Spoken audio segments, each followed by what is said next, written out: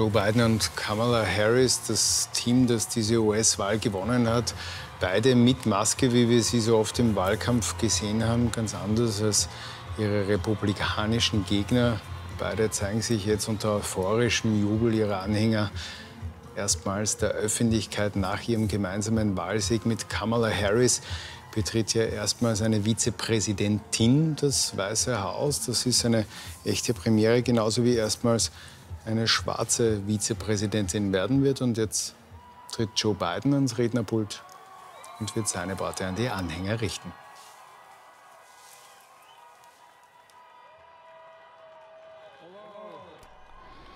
Guten Abend, geschätzte Mitbürgerinnen und Mitbürger.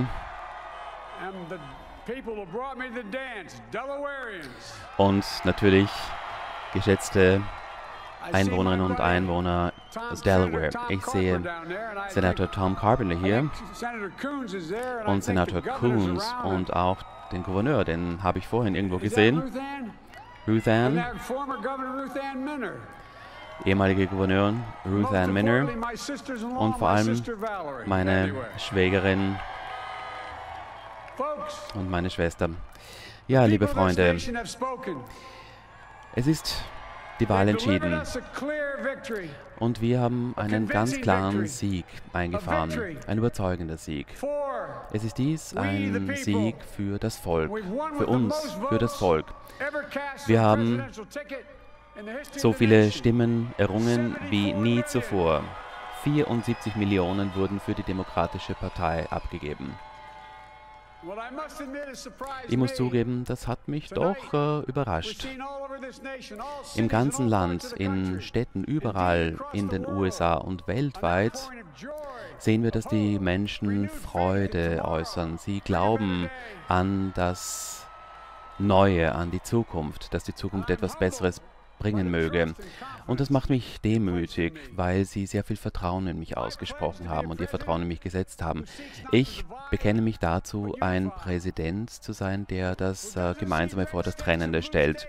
Ich möchte keine demokratischen und republikanischen Staaten von mir sehen, sondern nur die Vereinigten Staaten von Amerika. Und ich kämpfe darum, ich möchte das Vertrauen aller Amerikaner gewinnen. Das ist mir ein Herzensbedürfnis. Und darum geht es auch in den USA. Es geht um die Menschen. Und das ist das, womit sich diese Regierung auch auseinandersetzen wird. Ich möchte als Präsident die Seele Amerikas wiederherstellen. Ich möchte das Rückgrat dieser Nation wiederherstellen. Die Mittelschicht zum Beispiel. Amerika muss wiederum global geachtet werden. Und wir wollen hier auch mit einer Stimme sprechen. Millionen Amerikaner treten ein für diese Vision, unterstützten uns. Und jetzt wollen wir diese Vision auch in die Tat umsetzen. Es ist dies die Hauptaufgabe unserer Zeit. Liebe Freunde, ich habe immer wieder gesagt, dass ich auch Jills Ehemann bin. Und ich stünde heute nicht, heute Abend vor Ihnen, wenn es nicht die unermüdliche Liebe und Unterstützung von Jill gäbe und auch meines Sohnes Hunter. Ich möchte auch Ashley erwähnen, meine Tochter, die Enkelinnen, die Enkel, meine ganze große Familie. Ihnen gehört meine Liebe.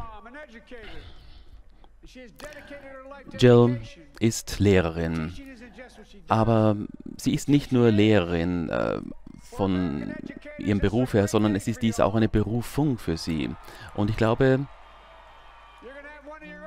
dass ähm, das auch äh, bezeichnend ist.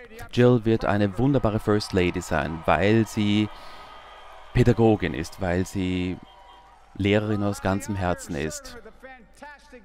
Ich habe natürlich auch die große Ehre, unterstützt zu werden durch eine fantastische Vizepräsidentin Kamala Harris.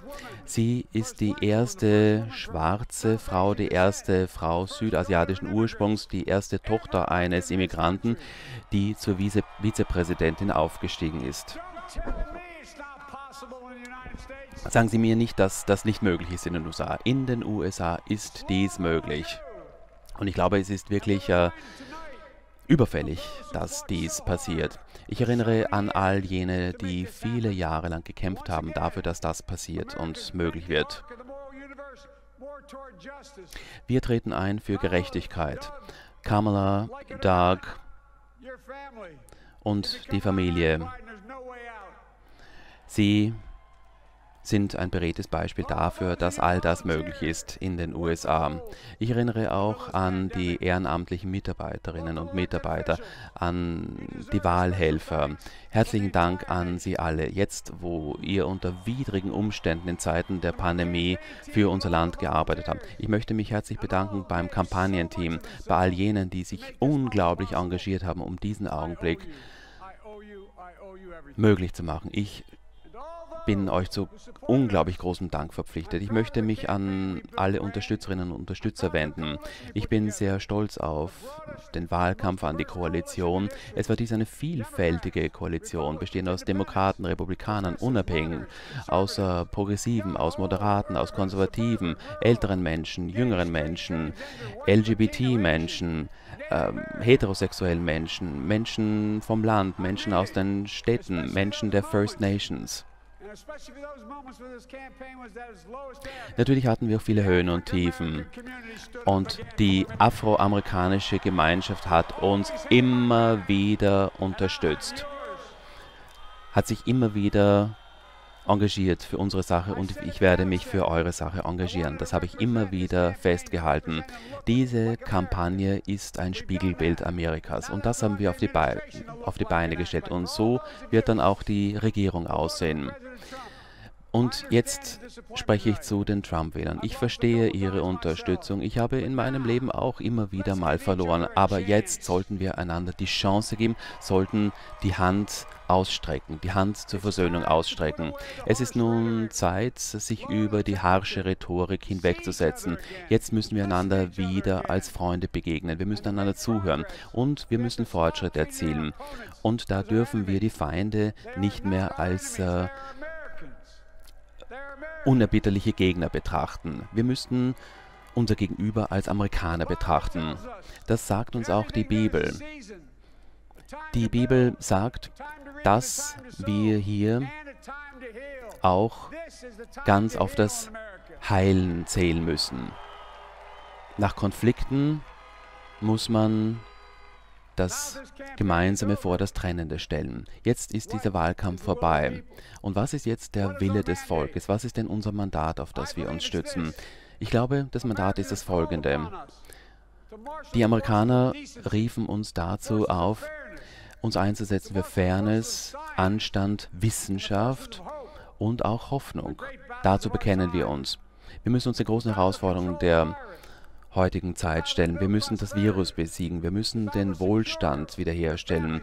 Wir müssen auch äh, die Gesundheit in den Mittelpunkt rücken. Wir brauchen Gerechtigkeit und müssen den systemischen Rassismus, den es nach wie vor in diesem Land gibt, beseitigen. Das ist ein Kampf. Wir müssen unseren Planeten retten, indem wir den Klimawandel äh, bewältigen. Wir müssen Anstand, Demokratie verteidigen. Jeder in diesem Land braucht hier faire Chancen. Das ist das, wofür wir einstehen müssen. Liebe Freunde, unsere Arbeit beginnt damit, Covid-19 unter Kontrolle zu bringen. Wir können die Wirtschaft nicht ankurbeln, wir können die Konjunktur nicht ankurbeln, ohne dass wir hier die Krise, die Covid-Krise bewältigen, damit wir wieder zu einem normalen Leben führen können, mit normalen Zusammenkünften. Am Montag werde ich eine Taskforce zusammensetzen aus Wissenschaftlern und Experten, die in dieser Übergangsphase einen Aktionsplan erstellen. Am, am 20. Jänner 2021 wird dieser Plan dann implementiert sein, fußend auf ganz solider Wissenschaft. Empathie und äh, Einfühlungsvermögen werden hier im Mittelpunkt stehen. Ich werde mich dafür einsetzen, diese Pandemie zu besiegen, gemeinsam mit den Expertinnen und Experten. Liebe Freunde, ich bin ein stolzer Demokrat, aber ich werde als amerikanischer Präsident mein Amt bekleiden. Unsere Arbeit ist riesig. Natürlich gibt es viele, die mich nicht gewählt haben und viele, die mich gewählt haben. Aber wir müssen uns hinwegsetzen über die Dämonisierung. Die Ära der Däm Dämonisierung muss heute und jetzt enden.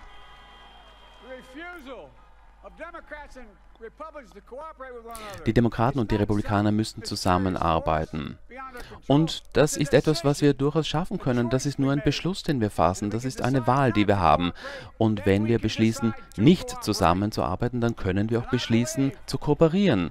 Und dafür setze ich mich ein. Das ist Teil unseres Mandats, das Mandat, das uns von den Amerikanern übertragen wurde. Die Amerikaner wollen, dass wir zusammenarbeiten. Das ist schließlich im amerikanischen Interesse. Und das ist auch das, wofür ich mich einsetzen werde. Ich äh, appelliere an den Kongress, die Republikaner und die Demokraten, diese Wahl gemeinsam mit mir zu treffen. Was ist die amerikanische Geschichte? Die amerikanische Geschichte bedeutet, dass man alle Chancen nutzt. Stetig, aber konstant. Wir müssen hier Versprechen einlösen für alle, ungeachtet der Rasse, der ethnischen Herkunft, der Identität oder allfälliger Behinderungen von Menschen. Wir müssen Chancen für alle ergreifen. Amerika wurde immer wieder gestaltet durch Höhen und Tiefen. Es mussten immer wieder harte Entscheidungen getroffen werden in Bezug auf das, was wir sein wollen. Und Lincoln hat das äh, 1816 bereits gemacht. Oder FDR 1932. Er glaubte an den New Deal. Dann JFK 1960 bekannte sich zu neuen Grenzen und vor zwölf Jahren hat Barack Obama auch Geschichte geschrieben, indem er laut skandierte Yes, we can. Und wir befinden uns erneut an einer Weggabelung. Wir können jetzt die Verzweiflung überwinden. Wir können zielgerichtet vorgehen. Ich weiß, dass wir das können. Ich habe immer wieder über die Seele Amerikas gesprochen, dass wir uns dafür engagieren müssen. Wir müssen nun die Seele Amerikas wiederherstellen. Wir müssen sie heilen. Wir haben immer wieder Kämpfe ausfechten müssen zwischen unseren Idealen und äh, den dunklen Mächten. Es ist jetzt der Zeitpunkt gekommen, dass sich das Gute durchsetzt. Die ganze Welt blickt gebannt auf die USA. Ich glaube an die Hoffnung, die von Amerika ausgeht. Wir werden hier mit gutem Beispiel vorangehen, mit dem äh, aber nicht mit der Macht, die wir haben, sondern mit unseren Idealen. Das glaubte ich immer und ich habe es immer wieder festgehalten. Ja, wir können Amerika mit einem Wort definieren. Possibilities, Möglichkeiten, das bieten wir. In Amerika sollte jeder die Möglichkeit haben, Träume zu verwirklichen. Und mit der Unterstützung Gottes werden dann diese Möglichkeiten auch umgesetzt. Ich glaube an die Möglichkeiten dieses Landes. Wir schauen immer in die Zukunft. Wir brauchen ein freieres und gerechteres Amerika, wo es äh, anständige Arbeit gibt. Ein Land der ähm, des Respekts, ein Land, äh, wo niemand im Stich gelassen wird, wo Krankheiten besiegt werden wie Krebs oder Alzheimer, ein Amerika, das niemals aufgibt, das sich immer wieder zu den Menschen bekennt. Es ist dies eine großartige Nation. Wir sind ein gutes Volk. Es sind dies die Vereinigten Staaten von Amerika. Wir haben immer wieder unsere Ziele verwirklichen können, wenn wir an einem Strang gezogen haben. Liebe Freunde, in den letzten Tagen des Wahlkampfes habe ich ähm, auch schon über ein Kirchenlied gedacht, das äh, für mich immer schon viel bedeutet hat. Besonders äh, denke ich hier an Bo, meinen verstorbenen Sohn. Und ich glaube, dass das etwas ist, was uns mit Hoffnung erfüllt. Und es ist das, was auch Trost spendet. Da gibt es äh, viele, viele Amerikaner, die zum Beispiel in diesem Jahr auch äh, gestorben sind äh, äh, durch die Covid-Krise. Und ähm, ich äh, gedenke dieser Amerikaner. Und ich möchte jetzt dieses Kirchenlied kurz präsentieren.